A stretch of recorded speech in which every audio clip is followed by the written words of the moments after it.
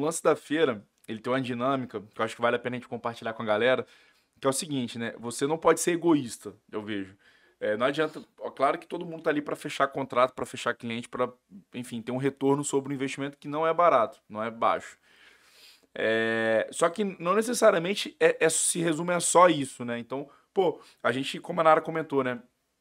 A gente tinha ali um stand mais interativo, tinha a questão da impressora, tinha uns brindes, então naturalmente chegavam pessoas ali para querer conhecer um pouco mais, entender, que não necessariamente poderiam ser potenciais clientes. Mas tá tudo bem, acho que cabe isso também numa feira. Então, de um lado, acho que isso é bem importante entender que você vai gastar energia, dependendo, você vai gastar até parte do seu orçamento com pessoas que não necessariamente vão ser potenciais clientes, mas que se tiverem uma boa impressão, tiverem uma boa experiência, essa pessoa vai guardar essa marca com carinho e quem sabe em um outro momento ela não possa contribuir de alguma forma, né? retribuir de alguma forma, na verdade. Esse, esse é um ponto.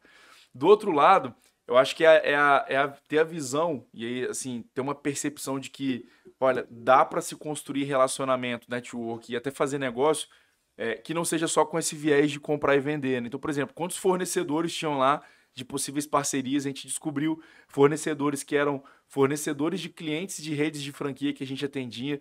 Sei lá, cara, os caras cuidavam de uma. Eles tinham uma plataforma de um white label de conteúdo, e aí os vídeos que os franqueados recebiam para poder aprender sobre a franquia era esse camarada que entregava. E, pô, a gente nunca ouviu falar desse cara. A gente se conheceu na feira por uma coincidência. Então, você aprofunda, cria conexão. E aí ele fala: caramba, eu tenho uma outra rede aqui que eu atendo também que poderia ser cliente de vocês. A gente fala: caramba, eu tenho uma outra rede também que eu atendo que está com dificuldade de padronizar conteúdo. E assim, é aquilo, né? Você tem que estar tá lá para esse tipo de coisa acontecer. E aí, um, um ponto que eu achei que foi super interessante, acabou que a gente foi de última hora para essa feira, infelizmente. É, até que a gente conseguiu se organizar bem ali, mesmo faltando duas semaninhas.